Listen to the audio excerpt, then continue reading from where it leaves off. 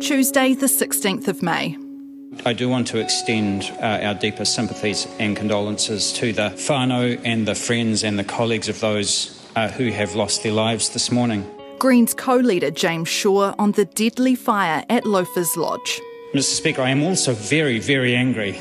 The questions in my mind are what kind of country are we that we allow uh, this kind of thing to happen to our most vulnerable uh, members of our community?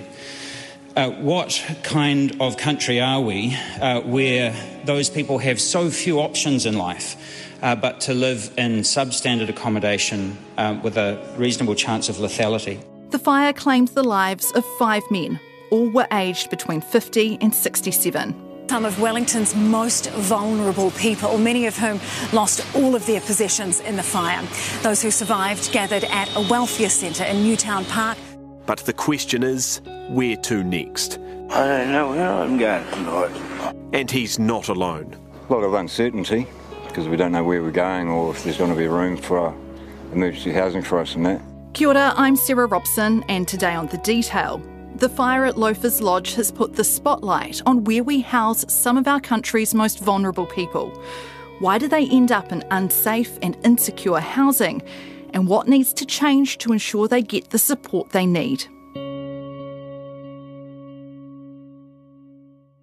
Can I first of all get you to introduce yourself? Hi, my name is Greg. Uh, I work for LifeWise. I am a peer support worker, and um, I spent a little while on the living on the street, um, probably about 10 years or so. How did you end up living on the street for such a long time? It's a really long story. Um, Luckily, we've got time. Oh, have we? Yeah. Okay. Um, We're at the LifeWise office in central Auckland. LifeWise is an organisation helping people in hardship, including those experiencing homelessness. I used to live in Hawke's Bay, um, had worked two jobs, uh, spent 17 years in hospital, made a lot of money, had a gambling habit. I used to play poker. Um, started off playing small and then ended up playing once a month in really big clothes games where you sit down with 50k and then you know you spend whatever after that and um, I broke my one rule and I lost $875,000 on the turn of a card. I've never asked for help ever. So I just um, sort of didn't tell anyone and left. Put four names in a hat, drew one out, it was Auckland, and so I came here. And uh, got a job in a warehouse. And um, I hurt my back and couldn't work anymore, but I did it outside of work, so I wasn't eligible for ACC. Oh. Yeah, so I used to go to an internet cafe, and because um, I'm a addicted gamer, and um, I just sort of started going to the cafe and never left.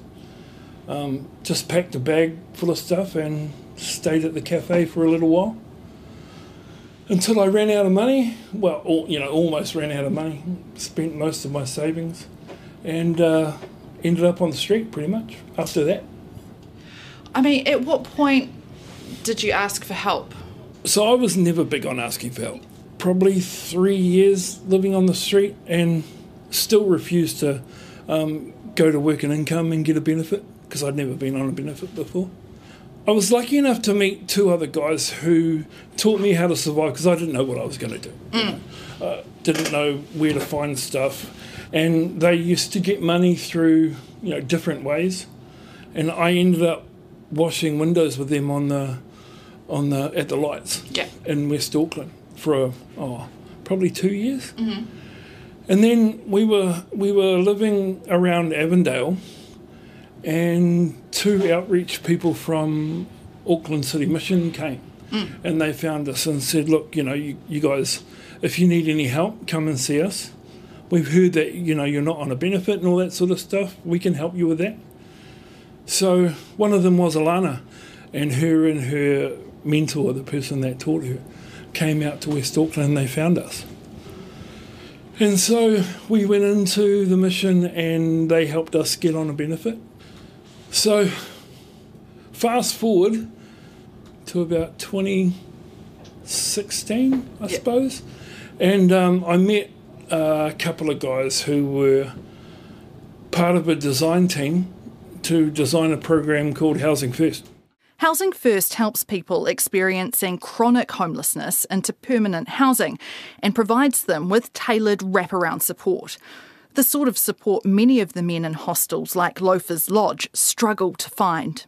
So I went along to a couple of the design sessions to watch them, you know, how they were mapping stuff and putting it together. And uh, I became one of the first 16 people on the Housing First program. So that's how I went from the street to a house. Do you think you would have got from the street to a house without, you know, those those interventions that were made? First, Alana, an outreach to get you a benefit, and then I guess the people who came back to you for housing first. Do you think there was any way of you getting into permanent housing without them? Probably not, because I was, like I said, I was never big on asking for help. So, you know, it took it took a lot to to finally and a lot of self reflection too. Mm. You know, because you have to you have to understand the problem before you can help fix it, and or find ways to fix it. And some people never want to fix it. Now, Greg works with people facing the same struggles he once faced. I think after about six months, I realised that this is probably what I was supposed to do. So I used my story to help people understand that there is a light at the end of the tunnel. You just have to find your way there mm. and accept help. And there are many different reasons why people fall into these situations. There's a lot of things with the people that we work with. Some grew up in boys' homes. Yep. You know, some um, hospitals through mental health. Um, others have had such bad home lives that they just came straight out on the streets when they were really young and never left.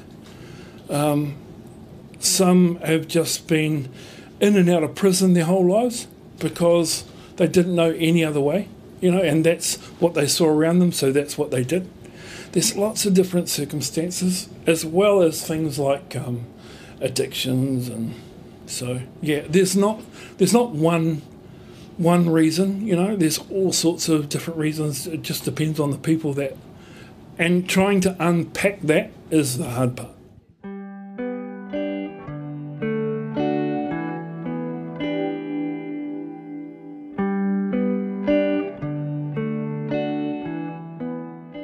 Ko ahau te manitaki o te tāpui atawhai, uh, ko Helen Robinson tōku ingoa. My name is Helen Robinson and I am the Auckland City Missioner.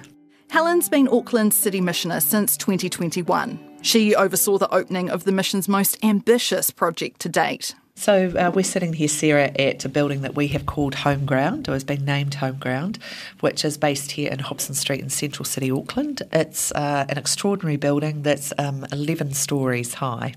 There's a whole range of services that are delivered here. So we have a medical centre, a community kitchen, um, we have social work services, a pharmacy, two floors of detox, one run by us and the other by Te Whatu Ora.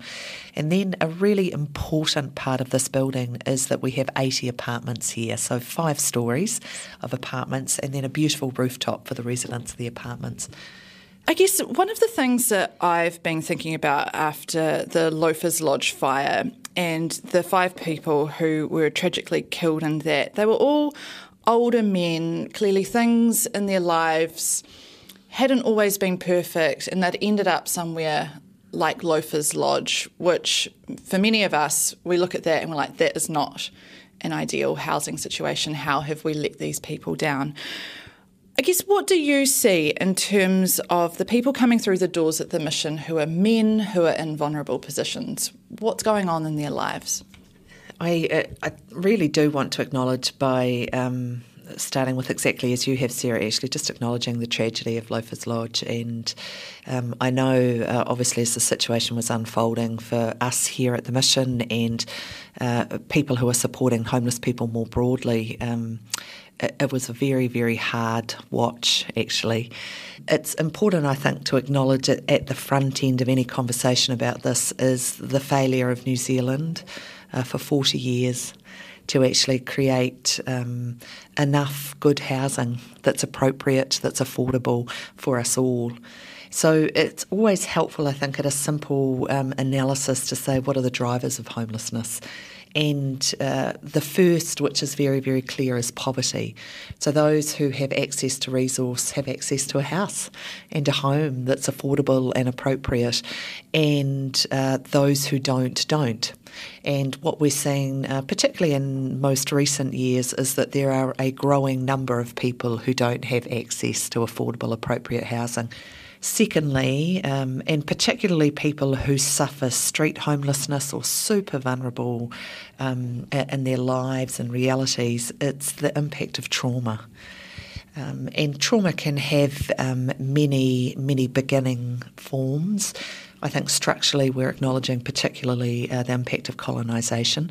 So overwhelmingly in New Zealand it is Māori who are disproportionately suffering the reality of homelessness and there is a direct link between um, alienation from land to lack of housing so I, I, think there's that understanding. Then the shape of trauma um, beyond that is different for every, every, individual and family, but often speaks to the reality of violence, particularly uh, in the lives of children and young people. So I've said before, if New Zealand could deal with its violence problem, we would go a long way to uh, addressing the trauma that is one of the key drivers of homelessness. Um, then from that, and sometimes it's in a chicken or egg situation, it's hard to know what starts what, mm. but the reality of, of mental illness, the reality of addiction, the impact of uh, ill health, and then I think too um, social dislocation, or particularly where relationships and significant relationships are broken down. So it would not be an unusual story that we would see, uh, as your question asked, men who came in who were previously partners, uh, fathers. Um, something has happened significantly to that relationship. They have become uh, disconnected and dislocated from their whānau, uh, perhaps are quite unwell in one way, shape, or form, lose an income, and then it's very, very easy to see how you can uh, become um, or be just suffering the reality of homelessness. Um, so uh, at the mission here, um, uh, we have a service here called Haiata, which is open every day of the year where we provide one good meal for people here in Central City, Auckland. And then as they come in here, they can access, of course, associated services. So we have a medical centre here, a pharmacy, there's social workers to support people into housing. Um, on a busy day here, we can have 300 people through. Mm, it's a uh, lot. It's a it's a really lot. On a quiet day, we'd be 150, 160, um, and it's not the same 300 people every day. Mm. I think that's important.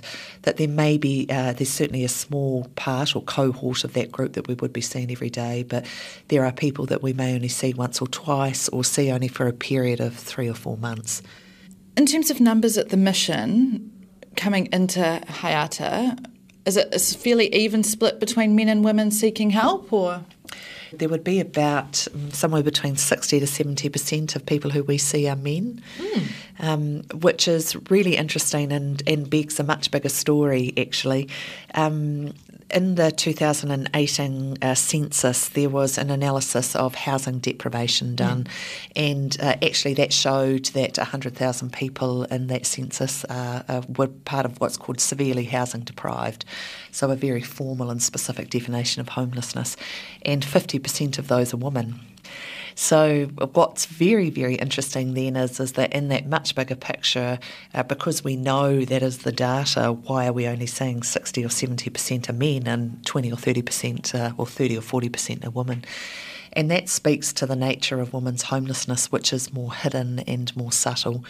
Mm, interesting, interesting. Because as we were talking before I hit the record button, when I was RNZ social issues reporter, so much of my focus was on women, uh, single women raising children, um, and and that aspect of poverty, and particularly child poverty. And I guess in my reporting, I'd never really focused on on men, but I feel I feel like Loafers Lodge has almost brought that to the forefront and what's happening in terms of providing um, this group of people with the wraparound support that they need to deal with those underlying issues in terms of poverty, in terms of employment, in terms of having a safe, stable place to live. We know that um, all of us need access to appropriate, affordable, adequate housing then some of us at different parts in our life need support to be sustained in that tenancy, depending on what's going on. So it's that notion, but then uh, really deepened, I think, when we are, are seeking to support people who have a range or depth and complexity of need. So, uh, how do we genuinely support someone who uh, is very, very mentally unwell? Um, and obviously not unwell enough to be in hospital or in any kind of supported care, but actually uh, quite capable of sustaining permanent tenancy with appropriate support. And then that that is the deeply the work of the mission and many other good agencies throughout our country who are providing that appropriate level of care.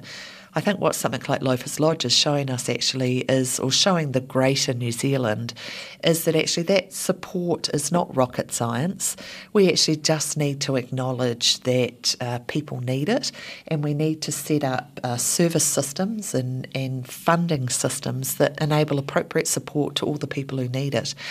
Now, I think New Zealand is actually learning one, how possible it is to support people, but actually that it's difficult and it's time consuming and that it does require resource to do it. Is it a case where some of these people, you know, they might be supported into getting a room in a place like Loafers Lodge, but then that's it? It's hands off no more support beyond, hey, we've helped you into a house, tick, job done. Totally. So if you or I had nowhere to stay tonight, Sarah, we would uh, go to an MSD office and uh, very genuinely they would be very good to us. They would find um, some kind of emergency housing probably for us. And perhaps if if, um, if there was one available, we'd go into some kind of transitional housing. Now, um, the system is not set up to designed at that front end, at that very, very point of entry, to actually provide uh, an assessment of the level of need. Um, so, uh, uh actually, the first job of an MSD, or really the only job of an MSD worker, is to support that person into uh, some kind of emergency dwelling. Um, but this is where life starts to get complex a bit, though, is that, that our preference is always for permanent housing and we just don't there's just not enough places to mm. put people mm. and there are also significant resource limits put on the amount of people that we can support and of course since Labour came into government back in 2017 there has been this uh, focus on um, obviously with Jacinda Ardern reducing child poverty what we want to do is get beyond the political back and forth around what measures of child poverty are in this country. There was a homelessness action plan. The government says it'll fund a thousand new transitional housing places to shift people out of emergency motels. A public housing build program. Today's housing package creates 8,000 additional public or transitional housing places over the next four to five years. I mean, we haven't seen many of these ideas come to fruition or come to fruition fast enough is there any way we can make it happen quicker or so if New Zealand can get on board this boat and actually say we want a different construct, what I think we would see is a plethora of responses open up very, very quickly. Different entities and individuals taking responsibility, and uh, the government uh, doing everything within their power to support it. Um, and you know some of the stuff that you uh, spoke about even then briefly with COVID, I remember the period very very quickly in that very first lockdown. Um, just how extraordinary um, the Ministry of Housing and Urban Development and MSD were to make anything possible for mm. us. So we were entering into really quick decisions that were high trust that we're bringing people off the street uh, into motels, which is not fabulous, but in that, particularly in the middle of that pandemic and that first lockdown, better than people being on the street. And some amazing stuff was achieved. We almost saw the possibilities of what can happen when there's momentum behind it, and the will and the will of the people and the collective to actually do it. Um, uh, and I, you know, I sit here at home ground, and half of the cost of the apartments was given to us uh, through the national government with Sir Bill English and Uh, the cost of the two floor, floors were given to us through the Labour Coalition, and then we got a further grant uh, through the, the, current Labour government under the Crown Infrastructure Grants or shovel ready money. So, home ground here is a really, really good example, interestingly, of successive governments at different p- parties in the House actually supporting a collective.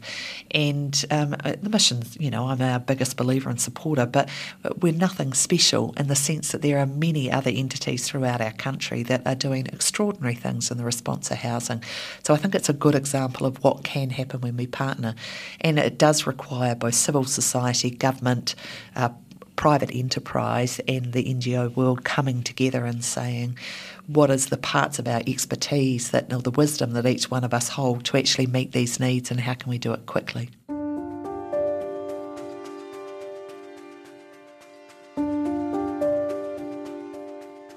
I guess what would your message be to people who might be in an in that sort of isolated situation? I guess what what would be your advice to them, having sort of been in that position before? Don't be afraid to ask for help. Always. I mean, we're not mind readers, so and, until until they can take that first step, we can't help them. They need to they need to be able to ask for help and say what they need, not what they think we want to hear. At Homeground, they've recently marked a year of people living in their apartments. I recently joined the tenants for our one year celebration, and it was a, um, a, a, very uh, low key, informal, and moving ceremony actually, where a number of tenants got up and spoke about just how uh, wonderful it was for them to be here. So spe- people spoke about feeling safe for the first time in their mm. life, um, about um, being delighted about being able to have a place they call a home. Uh, one of the things that happens that's really lovely is every tenant here, when they first come, they are given a pot plant that's actually grown on our rooftop. And uh, had a lovely conversation with one of our tenants one day who was just telling me in detail about how much her pot plant had grown. And you knew that what it was really was a symbol for, for actually what had happened for her. Uh, people are describing realities where they're attending to their health where they're actually starting to have conversations about um, either study or part time employment or realities that months ago, without this kind of housing and support, just wouldn't have been possible. So, that event or ceremony, it's, uh, I mean, that's what I and so many of us here do what we do. That's it for today. I'm Sarah Robson. The detail is supported by the Public Interest Journalism Fund. Today's episode was engineered by Phil Benge and produced by Bonnie Harrison and Mark Jennings. And thanks to Helen Robinson and Greg from Lifewise. Ka kite anō.